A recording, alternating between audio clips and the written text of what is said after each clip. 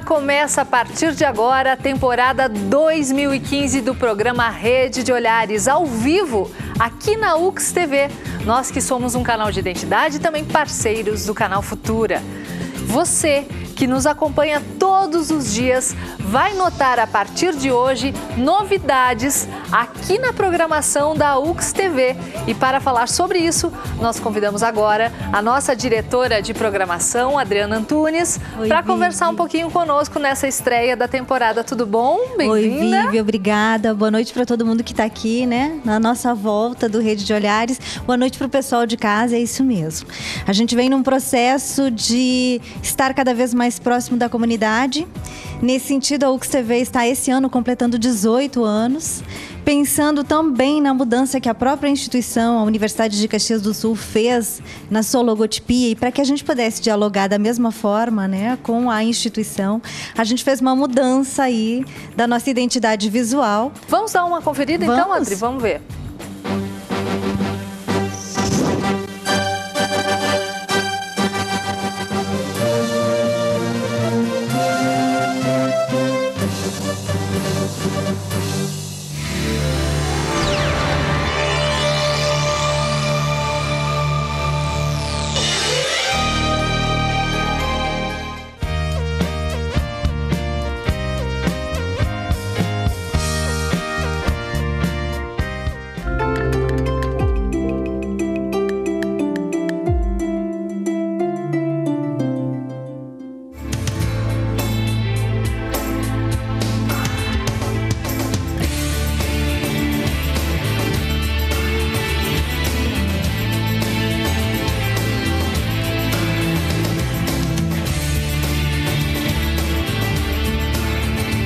TV, canal de identidade.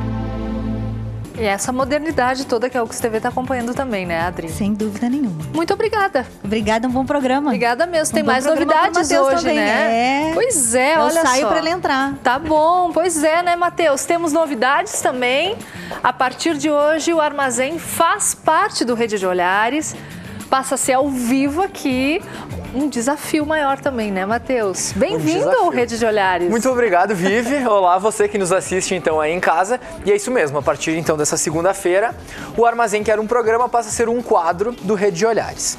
Nós vamos continuar então recebendo escritores, artistas plásticos, músicos e pessoas ligadas à área da cultura para performances e também entrevistas ao vivo. E para estrear esse quadro novo, a gente recebe então aqui o artista Antônio Giacomin e o escritor Marcos Kirst.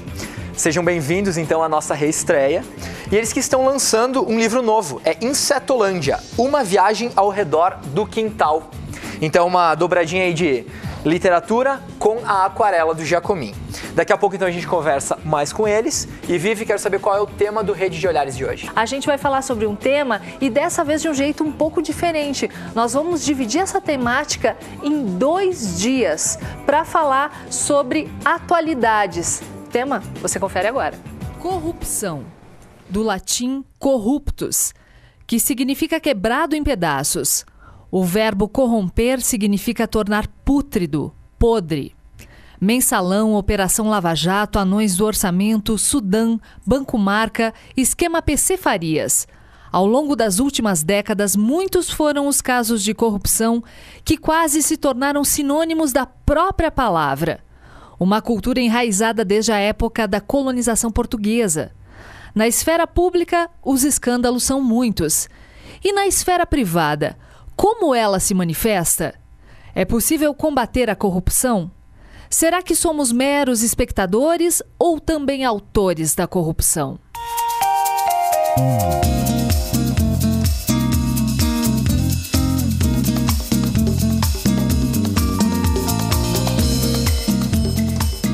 Eu quero começar com a professora Ramone, porque todos esses escândalos de corrupção que a gente acompanha aí na mídia todos os dias, no Brasil, no mundo também, isso sinaliza algo para nós, simboliza uma mudança aí profunda de valores? O que, que a senhora pensa sobre isso, professora? Bem-vinda.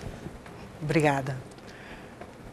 Uh, eu, eu percebo o fenômeno da corrupção, no caso específico brasileiro, extremamente associado ao nosso processo de formação histórica né, do Estado no Brasil e da própria sociedade brasileira. Então, do meu ponto de vista, a origem uh, deste fenômeno está num padrão de dominação que se instituiu historicamente ao, ao longo da, da nossa história. Né? Desde a colonização portuguesa. Desde a colonização portuguesa. E que nós temos chamado na ciência política de padrão patrimonialista de dominação, cuja característica principal é exatamente o uso privado que se faz dos recursos públicos. E, então eu, eu vejo o seguinte, o, o, o, problema está nessa interseção né, entre poder político e poder econômico. Eu diria que há uma relação promíscua entre esses poderes. Ramone, eu, eu peço licença para a senhora, porque a nossa equipe de reportagem preparou um material para falar sobre as origens da corrupção no Brasil, que é aquilo que a senhora uh, mencionava anteriormente, e também sobre como nós podemos agir para mudar essa situação, também quando se fala na nossa esfera privada. Olha só. A corrupção, se nós pegarmos o, a origem semântica da palavra significa o ato de se corromper, né? E aí que está a, a situação. Qualquer um pode se corromper. Corrupção. Pensar sobre ela é algo inevitável. E ao contrário do que muitos dizem, não é um assunto recente. Você acha que existe a corrupção no Brasil desde quando? E faz sempre que existe. Desde quando eu nasci. Desde que começou o Brasil.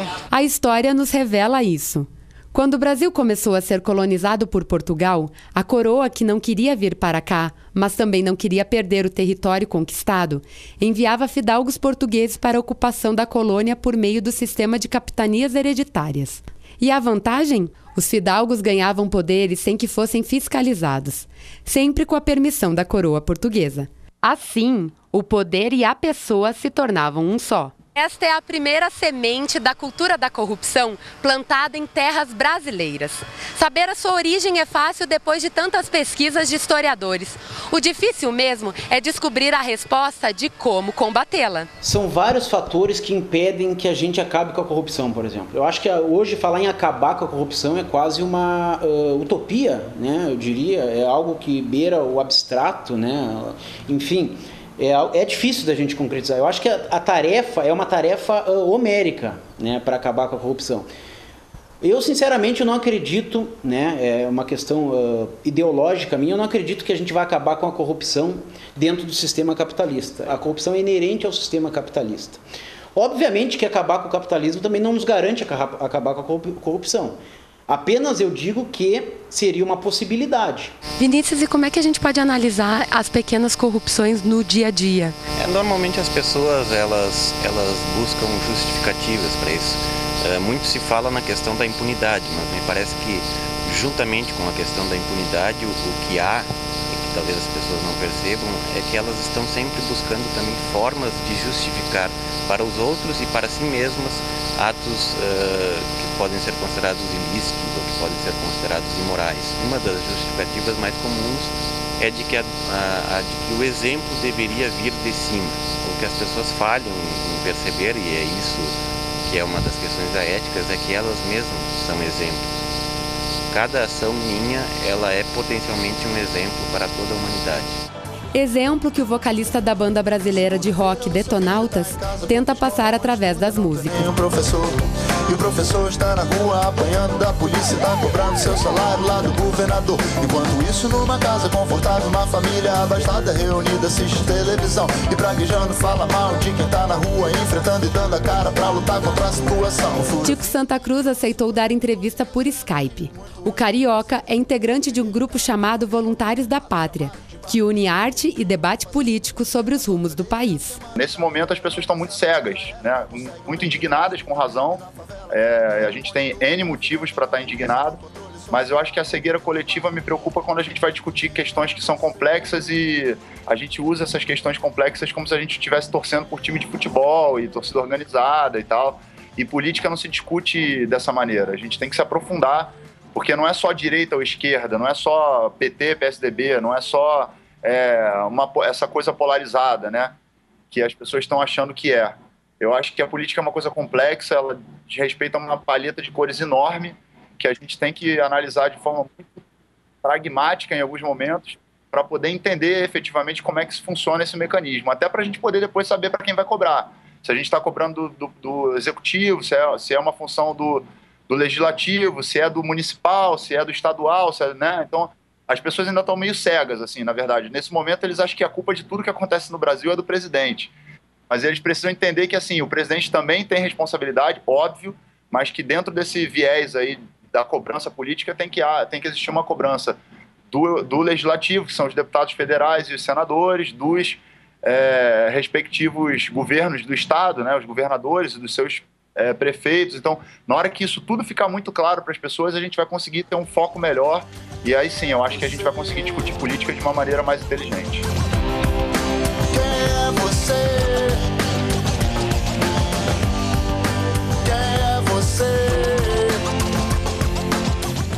Uh, quando ouvi o depoimento, é o professor, uh, um dos entrevistados há pouco, dizendo que a ideologia, a corrupção é um fenômeno do capitalismo.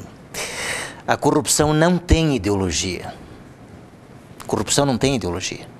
Você encontra corrupção em governos de esquerda, governos de direita, governos de centro. Você tem corrupção em governos liberais, tem corrupção em governos conservadores. Você tem corrupção em ditaduras, tem é, corrupção em democracia. É, e é, corrupção, a meu juízo, é como acidente aéreo. Quando ocorre um acidente aéreo, o que, que se diz? Não tem uma causa única. E aí nós podemos, aí aí que há bem as divergências, quais são as causas preponderantes. Há uma leitura muito bem exposta pela professora Ramone, né, que seria algo cultural da nossa própria formação.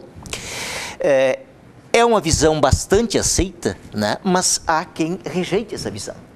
Porque a maioria dos brasileiros, por exemplo, vamos tomar um exemplo no nosso país, é composta por pessoas honestas. Um centro de estudos da Universidade Federal de Minas Gerais, em 2009, fez uma pesquisa, né, uma sondagem de opinião, e claramente 73% dos brasileiros têm uma visão crítica em relação à corrupção. Então, como que se pode dizer que é algo natural? Ah, uh, me parece que são vários fatores, e aí um, pode, um fator pode ter mais peso do que outro, dependendo do momento histórico. Aparentemente, hoje, o que mais pesa para a corrupção, é essa que aparece na imprensa, essa que é discutida nos bares, nos restaurantes, nas praças, nas ruas, é tem a ver com o nosso sistema partidário. Nós temos mais de 30 partidos políticos Existem 30 concepções de Estado no Brasil? Tem 30 concepções de política pública? Não. Há muitos partidos que nós sabemos que são partidos de aluguel. Né? Gente que está aí para buscar benefício e vantagem. E o sistema partidário combinado com o sistema eleitoral. Uhum. Uma campanha para deputado federal hoje, uma campanha para governador, para senador, é muito cara campanha eleitoral é muito cara. Então há uma captação de recursos. Deixa eu eh, lhe interromper um pouco, porque tem um questionamento. Seu nome completo, por favor? É Andressa Campanha Marques. Andressa, você representa qual partido aqui hoje? Eu represento o Partido Comunista do Brasil, apesar que eu acho importante ressaltar que eu não. Uh, o PCdoB não tem uma juventude, então eu me organizo na União da Juventude Socialista, na qual eu presido aqui em Caxias. A principal reclamação das pessoas agora é a corrupção, mas nós temos que apresentar uma proposta, e no meu ponto de vista. Algo que tem que ser combatido é o financiamento privado e o financiamento das campanhas por empresa. É aí que está o cerne de corrupção. Então, por isso, nós precisamos pautar o financiamento público, entre outras questões importantes para avançar no âmbito político do nosso país. Ok, Andressa, obrigada. Paulo, por favor. Eu queria só retomar um pouco o raciocínio do professor Hildo, né, de História, é, onde ele coloca que a corrupção ela é algo intrínseco do capitalismo. Eu quero concordar com isso. E já que o tema é cultura da corrupção, né, a gente tem que entender que os, quais são os valores culturais do capitalismo. Né? Então, os valores culturais né, do capitalismo são é, egoísmo, individualismo e competição exasperada. Né? Então, esses valores né, é, é, fazem né, com que a corrupção ela, ela seja necessária né, num universo de competição, é, principalmente é, na seara econômica. Nós temos dois, é, para encerrar, dois casos que eu gostaria de, de, pontuar de corrupção mais comuns. É, um é o caso que o professor colocou e que a Andressa colocou aqui também, que é o financiamento privado de campanha, que é, na verdade, a corrupção legalizada no Brasil porque os empresários eles financiam as campanhas depois exigem isso, né, políticas né, diferenciadas para suas empresas. Isso nada mais do que é do que corromper o Estado brasileiro através, é, a favor da iniciativa privada. E o segundo, que é o caso que ninguém fala quase, que não sai na imprensa, é a questão da sonegação fiscal. Nós temos o escândalo do, do HSBC hoje, que estima-se que a quantia de dinheiro sonegada de impostos no Brasil seja 10 vezes superior ao que está sendo estimulado no caso da Petrobras. Dan, e aí? é um lá. tema delicado, né? Bastante delicado, delicado. bastante efervescente é, também. Mas que né? bom que, que a gente tem, que a gente está discutindo. É quanto mais a gente falar, acho que mais vai abrir a cabeça da galera sobre isso. Tem muita gente que não dá bola para a política que só, política é só quando de quatro em quatro anos ir lá votar, e é outra coisa, política é feita durante toda a época da nossa vida, é feita no mercado, em casa, no colégio. Então a gente tem que realmente se inteirar e saber um pouquinho o que está acontecendo, para na hora de dar a sua opinião, sua opinião ser válida.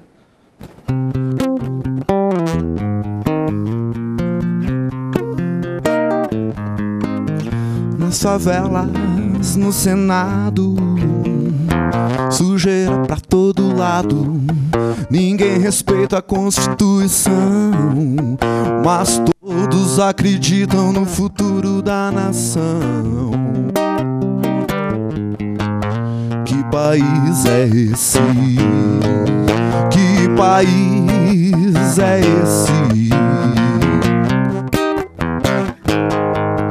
No Amazonas, no Araguaia na Baixada Fluminense, no Mato Grosso, Minas Gerais, no Nordeste, tudo paz, na morte um descanso,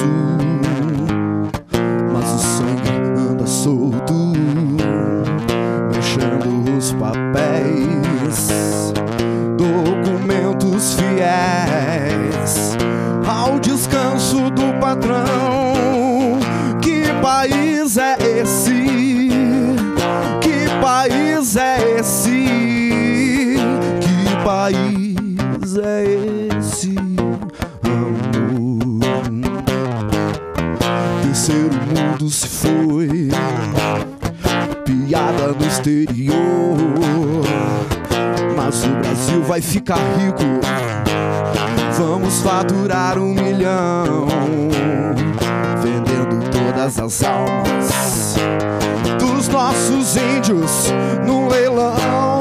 Que país é esse? Que país é esse? Que país é esse?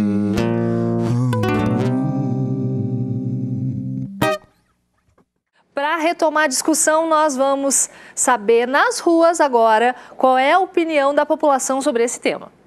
O que tu acha da corrupção no Brasil? Ah, é uma vergonha, porque é um dinheiro que poderia ser ocupado por muitas outras coisas, né? Pelos benefícios da população. Bastante, né? Ah, na verdade, a corrupção no Brasil está muito crítica. Podia não ter, né? Podia não ter tanta. Porque eu não acredito que vai conseguir acabar, viu? E não é só culpa do governo. A gente também tem a nossa parcela de culpa, sabe? Mas que eles que poderiam dar o um exemplo não estão dando e até estão fazendo coisa feia para não falar outras coisas, né? Estão. E olha, quem pode resolver isso aí não está muito afim de resolver, sabe? Então não dá para também só julgar só o governo, a gente tem que fazer a parte da gente, mas eles não estão na parte deles, sabe? É que a gente é, é parte de um sistema que não está funcionando. Eu nem sei dizer, mas é uma falta de vergonha. Porque se é um pobre que rouba, vai para cadeia. Se é um rico, fica assim mesmo. Não, não acontece nada. Então ladrão é só os pobres que andam sempre com fome. Será que eles passariam com o salário que nós temos que passar? Horrível, né? É para mim, corrupção é um roubo. A corrupção é, já é genética no Brasil, infelizmente. ela vem desde o tempo do Império, tá? quando desviavam pau-brasil, desviavam é, minérios. Né? E hoje o Brasil ainda está acomodado, é uma crise ética e moral que está vigindo no país. Por isso eu atribuo ao genético, porque a acomodação e a não resignação com a corrupção. Essa é a mais terrível nesse, nesse país. O político só tem ladrão, ministros safados. A corrupção está em todo, toda a área do poder público.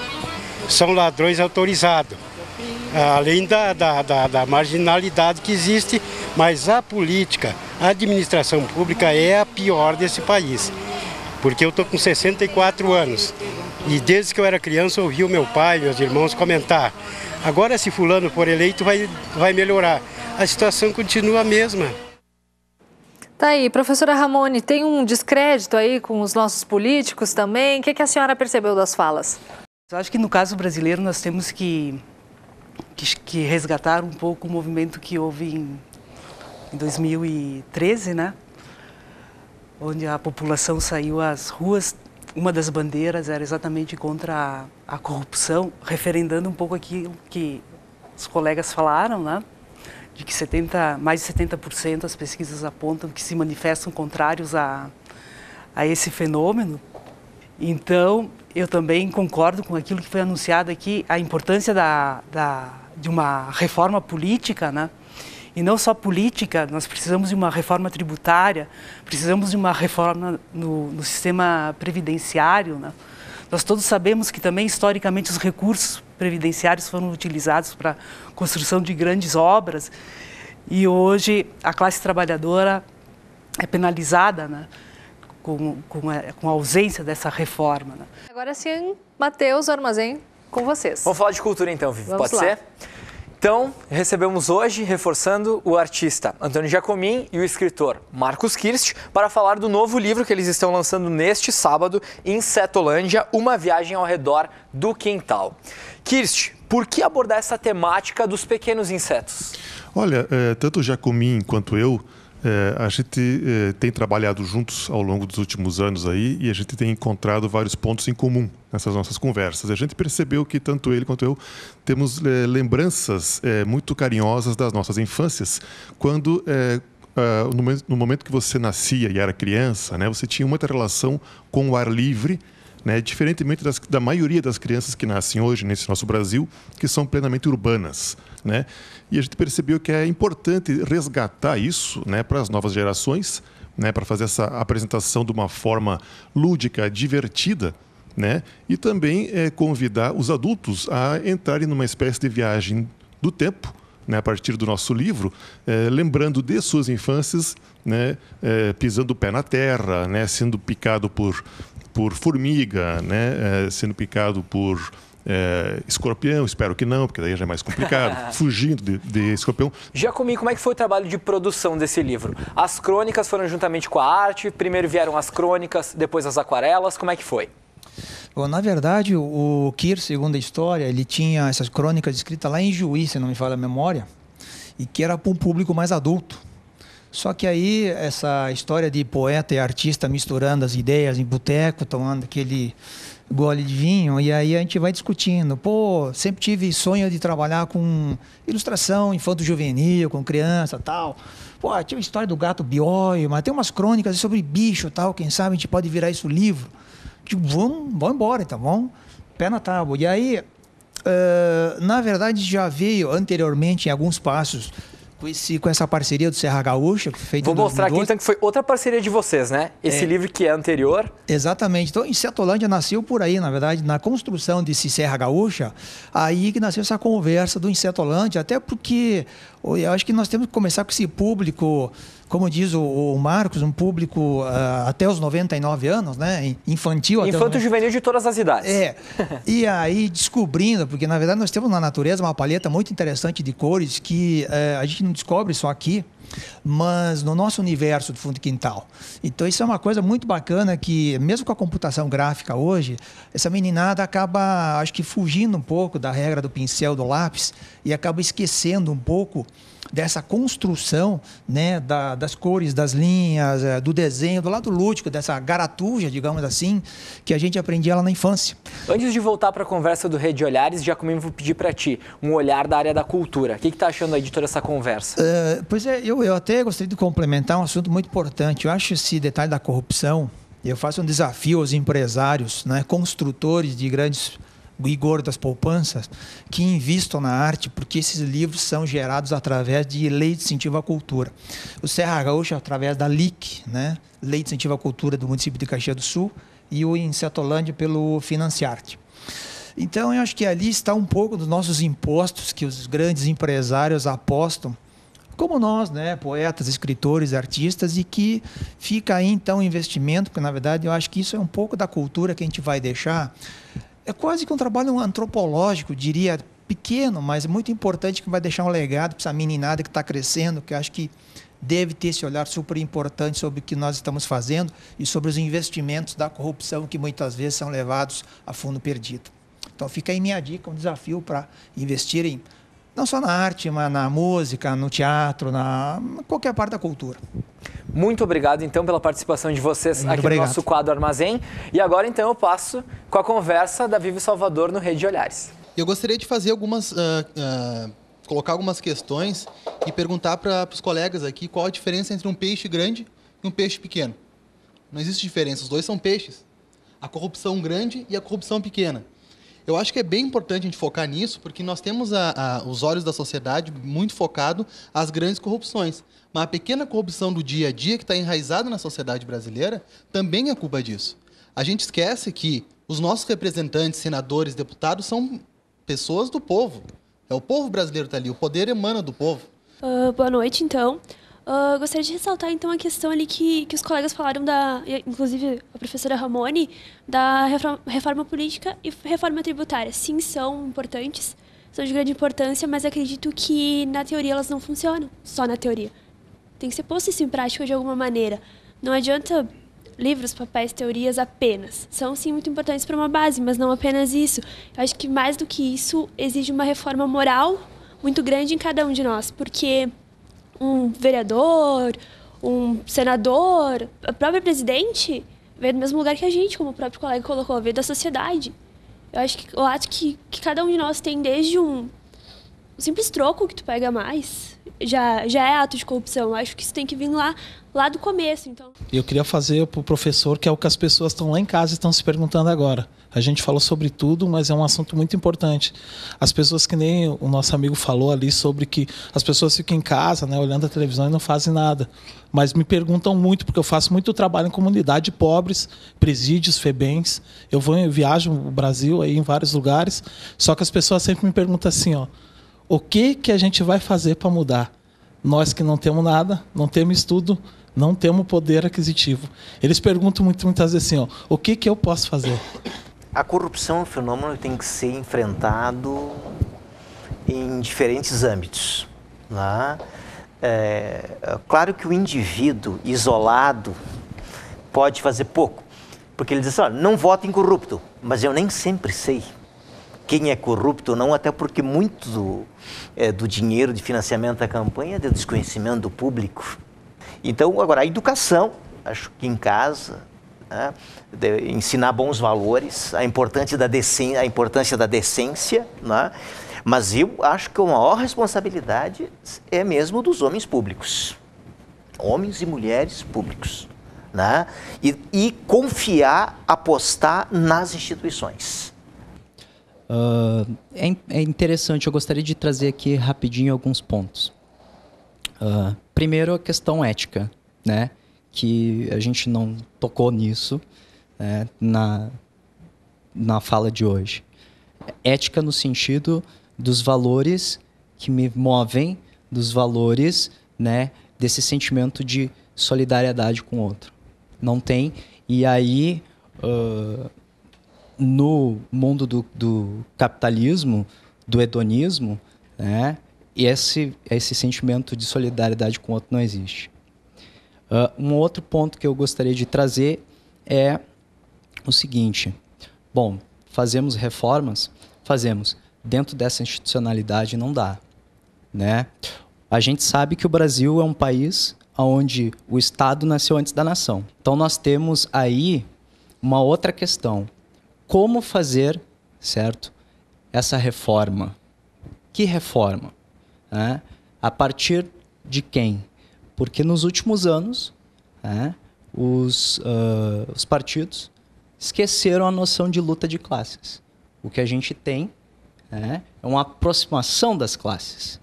É, hum. Uma aproximação dessas classes que fazem com que essa corrupção fique mais em evidência. Olha, eu quero discordar um pouco da questão cultural da corrupção. Existe a, a, a cultura da corrupção, felizmente, numa grande minoria. A grande maioria dos brasileiros são pessoas honestas e que querem que o Brasil dê certo. Né? Uma outra questão que foi levantada aqui, que é a questão do financiamento público ou financiamento privado.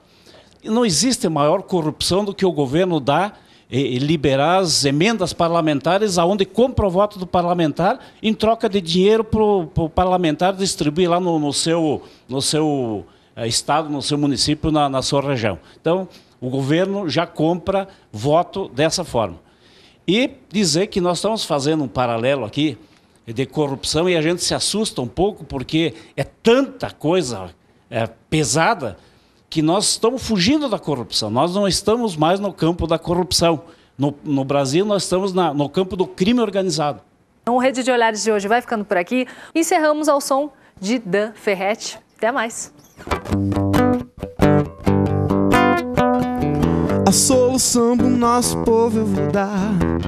Negócio bom assim ninguém nunca viu. Tá tudo pronto aqui, é só vir pegar. A solução é alugar o Brasil. Nós não vamos pagar nada. Nós não vamos pagar nada, é tudo free. Tá na hora, agora é free. Vamos embora, dar lugar pros gringos entrar. Esse móvel.